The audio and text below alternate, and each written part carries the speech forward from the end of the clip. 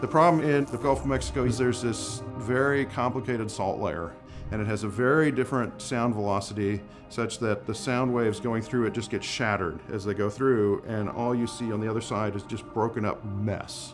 And so in the case of full waveform inversion with complicated salt, we did very, very extensive modeling, and what it said is you need data probably out to 20 to 30 kilometer offsets at frequencies of like one and a half to two hertz. Conventional seismic, we're not able to get the low frequency component of the source, the 1 to 2 hertz data, down through the subsurface because it gets overprinted by noise. We desperately need this low frequency source to really be able to see more in the subsurface. So basically, we've done something about it in developing the WolfSpar technology. WolfSpar is a device that produces vibrations at a very, very low frequency. That allows us to send low frequency energy down through the subsurface all the way down to the interval we're interested in and back up again, where we've got lines of ocean bed nodes which receive the waves coming back.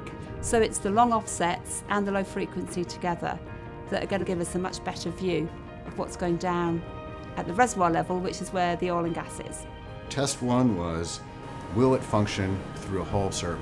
The device ran flawlessly and the project reached execution at the end. So now that we have the data, we've got to show that it'll make a difference. And so as we pick up those nodes from the ocean bottom, we're going to be shipping the data to the High Performance Computing Center. We'll be reading it and we'll be running that full waveform inversion algorithm on that data to make sure that it does what we expect it to do.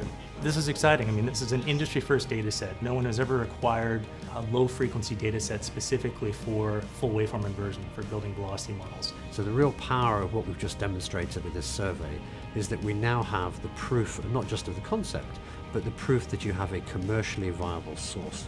We've solved a big problem in the marine world and we do really, really believe that it's going to give us a better image down in the reservoir.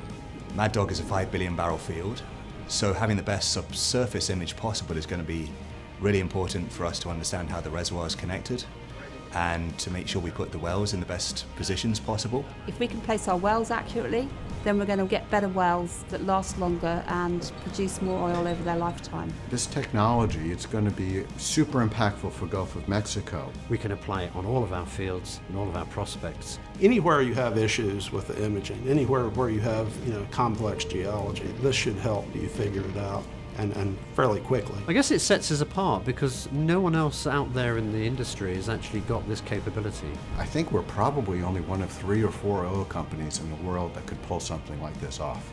And we're the only ones that did.